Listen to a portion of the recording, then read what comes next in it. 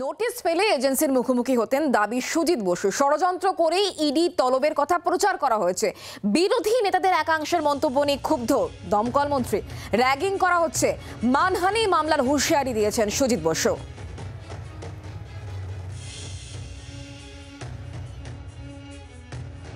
আজকে এমনি একটা কথা শুনে আমি আহত হচ্ছি শুধু না, আমি বলছি এই যে র্যাগিং র্যাগিং বলছে ছাত্র সমাজের র্যাগিং এটাও আমার কাছে মনে হচ্ছে একটা র্যাগিং তার কারণ, আমি মানসিকভাবে প্রথম দিন যখন এটা দেখানো শুরু হলো, নিজে ব্যক্তিগতভাবে খুবই দুঃখ পেয়েছিলাম। তার কারণ, চল্লিশ বছর পলিটিক্সে কেউ কোনো দিন বলতে পারেনি।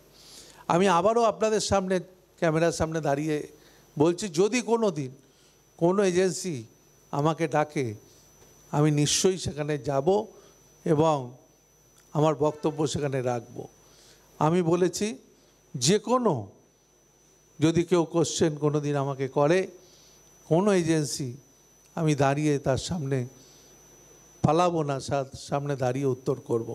এটুকু জোর, এটুকু মনের জোর, এটুকু শক্তি ঈশ্বর আমাকে দিয়েছে আবার আবার কয়েকজন বিরোধী নেতা, আমি কারোর নাম করছি না, তারা যে সমস্ত উক্তি করেছেন, আমি বলব তাদের সম্পর্কেও বলব।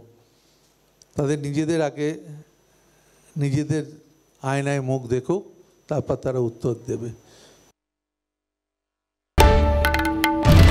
বাংলার আওয়াজ, বাঙালির আবেগ। জি, চব্বিশ ঘণ্টা।